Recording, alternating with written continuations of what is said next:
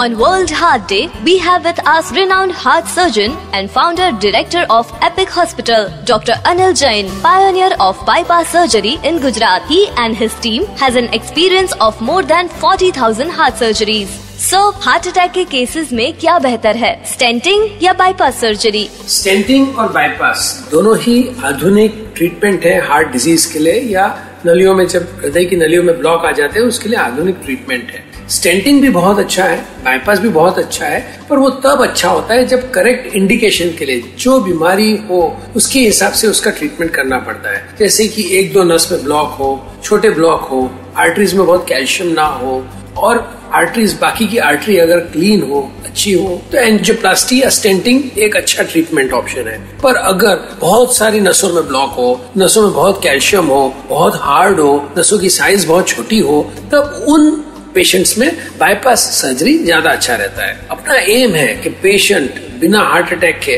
अच्छी तरह से आगे की ज़िंदगी जिए। तो angioplasty bypass both are good पर करेक्ट इंडिकेशन में जब किया जाता है तो उसका रिज़ल्ट अच्छा होता है। Thank you, Doctor.